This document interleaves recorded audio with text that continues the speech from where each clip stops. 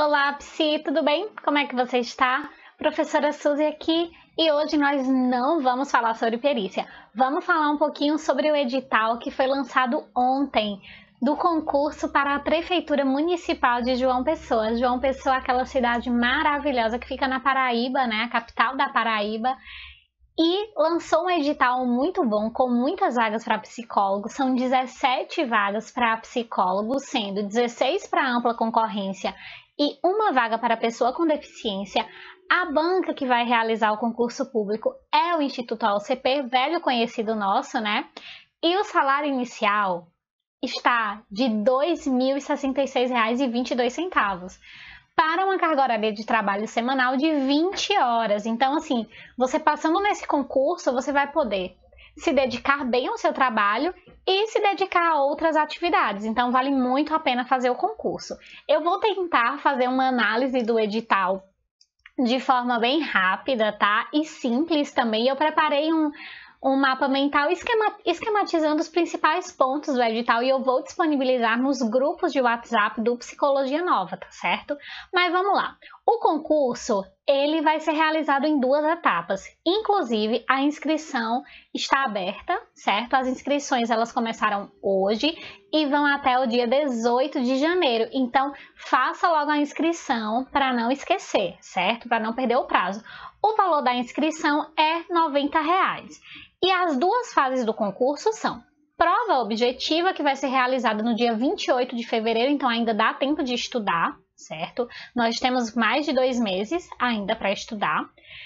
E prova de títulos, que vai ser realizada no dia 16 de março. E assim, é, tem gente que fica me perguntando, Suzy, vale a pena fazer concurso que tem prova de títulos, sendo que eu não tenho nenhum título? Vale. Por quê?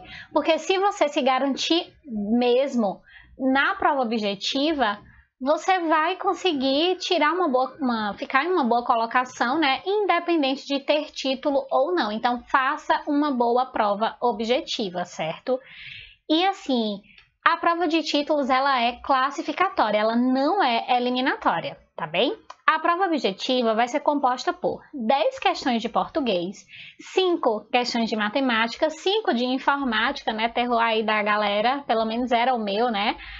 E 40 questões de conhecimentos específicos. Então, assim, nós temos muitas questões aí específicas, né? Então dá pra gente se garantir aí na parte de psicologia, certo? Atribuições do cargo. No edital está bem claro né, que o psicólogo aprovado vai trabalhar em instituições de saúde, até pelas atribuições do cargo, que são atribuições é, muito relacionadas ao trabalho do psicólogo na saúde e na assistência. E quando a gente começa a dar uma olhada nos conteúdos cobrados, que é isso que eu gosto da OCP, porque a OCP ela cobra de fato conteúdos que têm relação com o seu cargo, ela não cobra conteúdos assim aleatórios, que não tem nada a ver com o trabalho que você vai desenvolver, certo? A gente vê no edital que de fato o edital ele está muito direcionado para conteúdos envolvendo psicologia da saúde, saúde mental e SUS. Então a gente vai encontrar conteúdos desde reforma psiquiátrica, então do histórico da reforma psiquiátrica, como é que está funcionando a assistência à saúde mental após né, a superação aí desse modelo asilar que ainda está sendo superado, principalmente aqui no Brasil.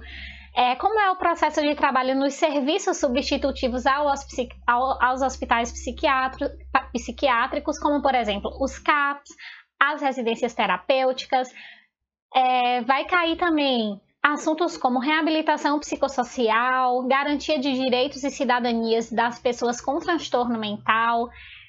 Vai cair conteúdo sobre CAPS, sobre NASF, sobre, sobre estratégias de saúde da família. Então, assim, esses dispositivos mesmo que são aí do SUS e que estão direcionados a dar uma assistência à saúde e principalmente é, que vão aí atuar também para dar essa assistência a essas pessoas que têm algum tipo de transtorno mental que antes eram colocadas nos hospitais psiquiátricos. Então, a gente vê também no, no, edital conteúdos falando sobre rede e serviço de proteção e atenção, papel do psicólogo na articulação entre saúde e assistência social, projeto terapêutico singular, apoio matricial, clínica ampliada. Então, todos os conceitos aí que de fato dizem respeito à atuação do psi na área da saúde.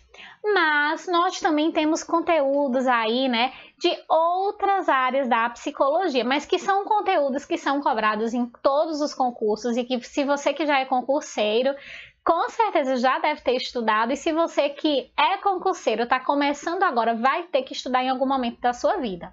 Então, assim, a gente tem, vai ter o quê? Teorias e técnicas psicoterápicas, teorias da personalidade, assistência integral às pessoas em situação de risco, violência contra criança, adolescente, mulher, idoso e família. Vamos ter que estudar também a resolução 006 de 2019, que fala sobre a elaboração de documentos, porque no edital nós temos dois tópicos falando sobre elaboração de parecer e laudo e elaboração e registro de documentos psicológicos, tá? Tudo aí está contemplado nessa resolução do CFP. Vamos ter também o que? Psicologia do desenvolvimento, teorias e técnicas psicoterápicas, e aí a gente vê uma ênfase né, da banca na psicanálise. Tem alguns tópicos aí, como por exemplo, teoria das neuroses, psicoses, perversões e seus desdobramentos, teorias psicológicas e técnicas psicoterapêuticas, clínica das neuroses e psicoses, então também vamos ter psicodiagnóstico, o trabalho com grupos, então grupos operativos, conceito, como é o panorama teórico, os fenômenos grupais. E por fim, também vamos ter alguns tópicos aí que a gente pode chamar de uma pequena introdução à psicologia organizacional, né? Que no edital consta dois tópicos que são psicodinâmica do trabalho e psicologia na saúde do trabalhador. Então, assim, como eu falei, de forma bem rápida, eu resumi aqui os principais tópicos do edital. Não sei se você já sabe, mas no site do Psicologia Nova nós já lançamos um curso específico para o concurso de João Pessoa. Curso que inclusive está sendo todo atualizado, né? Devido ao edital que veio com muitos conteúdos que a gente não tinha contemplado na nossa grade de disciplinas, certo? Então é isso. Eu espero que você faça esse concurso porque vale muito a pena. E se for fazer, vem aqui no Psicologia Nova e vem estudar com a gente. Aqui nós temos um grupo do WhatsApp no qual você pode tirar dúvidas. A gente sempre está passando informações, tirando dúvidas, dando orientações também. E o Psicologia Nova, né? Já tem toda essa credibilidade de ser o curso que mais aprova psicólogos em concursos públicos no país. É isso, um abraço e até o próximo.